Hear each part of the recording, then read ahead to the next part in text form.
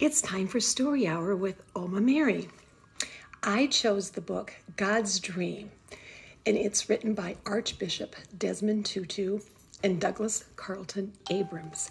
I hope you also enjoy it. Dear child of God, what do you dream about in your loveliest of dreams? Do you dream about flying high or rainbows reaching across the sky?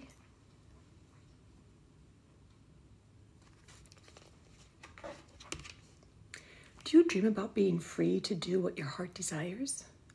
Or about being treated like a full person no matter how young you might be?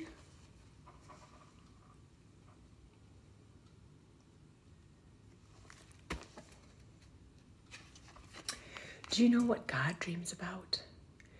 If you close your eyes and look with your heart, I'm sure, dear child, you will find out.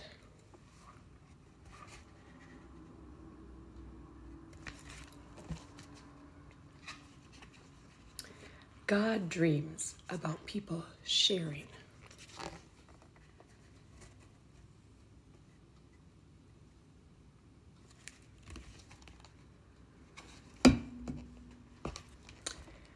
God dreams about people caring.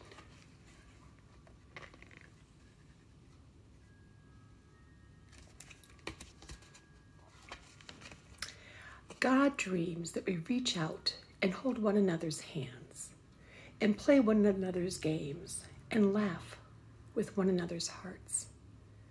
But God does not force us to be friends or to love one another.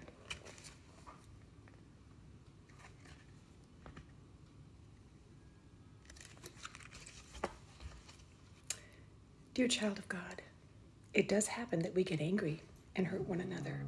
Soon we start to feel sad and so very alone.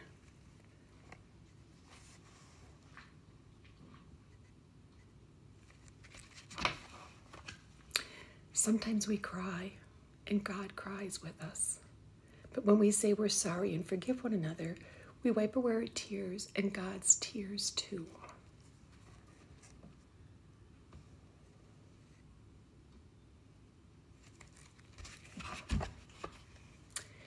Each of us carries a piece of God's heart within us.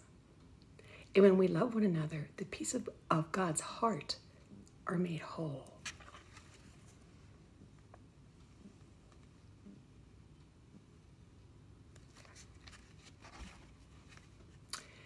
God dreams that every one of us will see that we are all brothers and sisters. Yes, even you and me, even if we have different mommies and daddies or live in different faraway lands.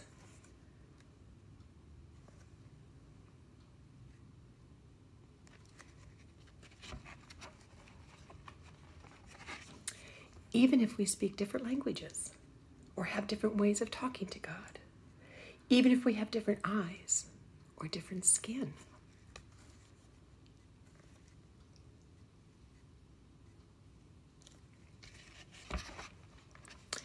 Even if you are taller and I am smaller, even if your nose is little and mine is large.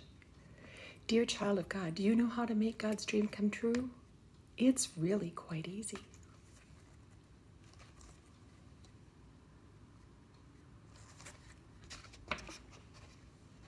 As easy as sharing, loving, caring, as easy as holding, playing, laughing, as easy as knowing we are family because we were all God's children.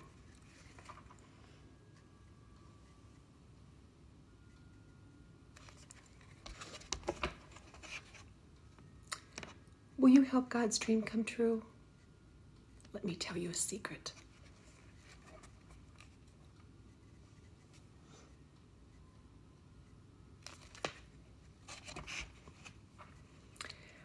God smiles like a rainbow when you do.